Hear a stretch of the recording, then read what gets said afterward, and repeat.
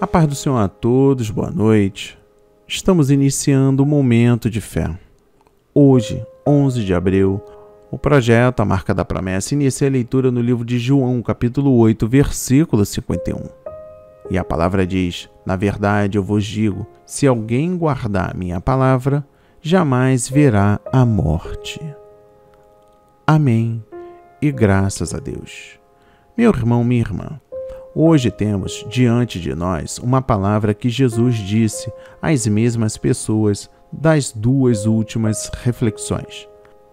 Aparentemente, elas podem não parecer verdadeiras, porque a maioria dos que creram nele no passado já morreram.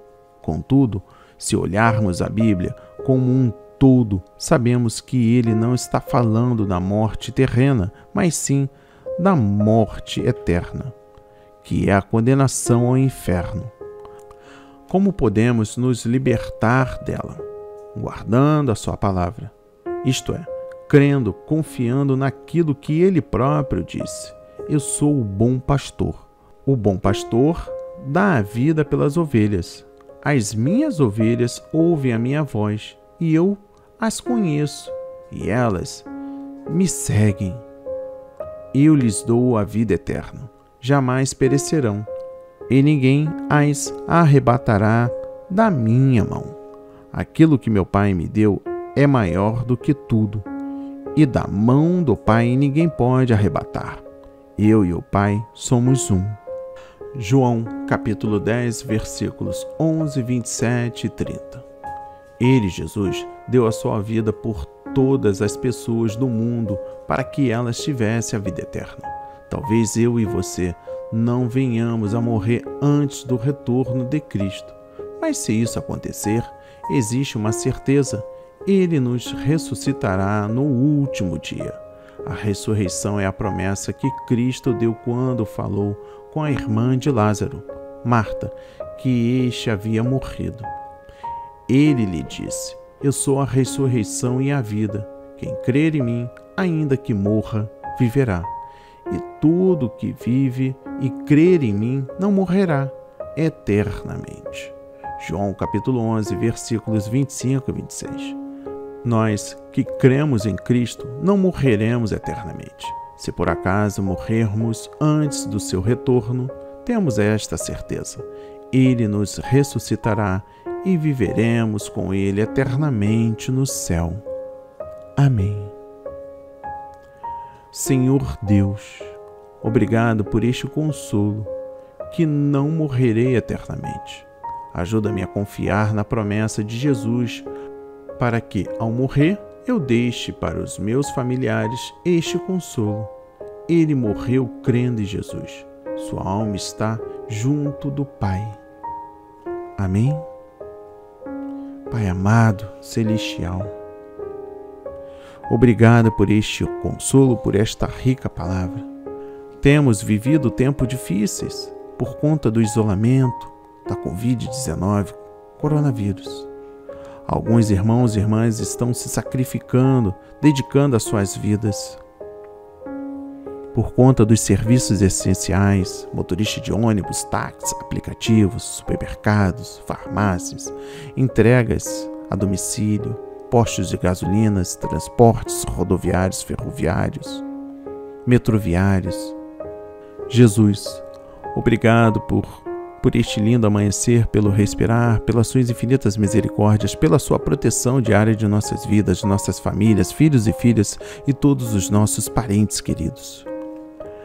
Obrigado, Senhor, pela provisão das refeições que o Senhor nos concedeu no dia de hoje. Obrigado pela proteção de nossas vidas, nossas famílias e todos os nossos parentes queridos. Oramos por aqueles que estão lutando contra o câncer, contra a AIDS, contra o vírus da HIV, depressão, transtorno de ansiedade, síndrome do pânico, diabetes, hemodiálise. Oramos pelos pequeninos que foram acometidos pela AME, uma doença degenerativa.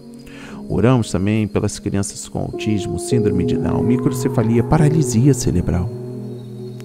Oh, meu Pai, pedimos para que o seu filho Jesus possa fazer, possa não, Pai, que faça visitação. Eu lhe suplico, eu lhe imploro, que faça visitação nos hospitais, nas salas das oncologias, pediatrias, UTIs, CTIs, Pai. Que faça o milagre acontecer nas áreas dos isolamentos por conta da Covid-19, uma doença que está matando pelo mundo afora. Não sabemos a dimensão e eu não estou aqui para julgamento, meu Pai. Eu creio que dentro deste plano maligno de Satanás que usou um país para ceifar vidas, o Senhor tem um plano lindo de salvação. Pedimos consolo para todos os familiares que perderam seus entes queridos neste período de pandemia. E oramos por aqueles que estão ali nas UTIs, nas emergências, nos isolamentos sociais, lutando contra esta maldição, esta doença para que o Senhor possa fazer visitação nos abrigos, nos asilos, moradores de rua, que o Senhor ampare os médicos, os enfermeiros, bombeiros, as ambulâncias. Sabemos que todos estão se dedicando, mas o Senhor que é o médico dos médicos. Devemos toda a honra e toda a glória a Ti, meu Pai. Mas que o Senhor console a todos, que o Senhor traga paz nesta noite, que o Senhor descanse os nossos corações, porque muitos já careciam de recursos financeiros por conta do desemprego. Mas eu creio que o Senhor está no controle de todas as coisas. Mas eu creio que o Senhor é o dono do céu e da terra e de todos os seres viventes que aqui estão nele. Meu Pai, que o Senhor abençoe a cada um de nós, que o Senhor nos traga paz, que o Senhor traga-nos descanso nesta noite. Estamos louvando a Ti, estamos glorificando o Seu santo nome. Em nome de Jesus. Em nome de Jesus, entregamos nossas vidas, nossas dores, nossos anseios, nossas preocupações em Suas mãos. Obrigado, Senhor, pelos livramentos de morte. Obrigado, Senhor, por cada cuidado. Que o Senhor acampe aonde há um choro, um gemido.